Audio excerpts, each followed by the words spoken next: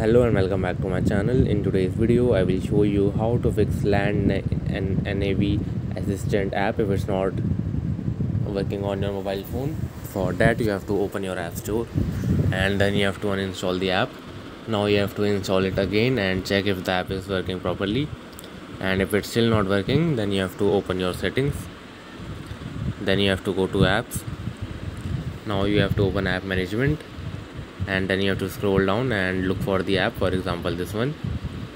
Now you have to click on force stop and then uninstall. Then you have to go back to your app store and install the app again and then it will start working properly. So yeah that's it for today's video. If you like this video please don't forget to subscribe to our channel. Thank you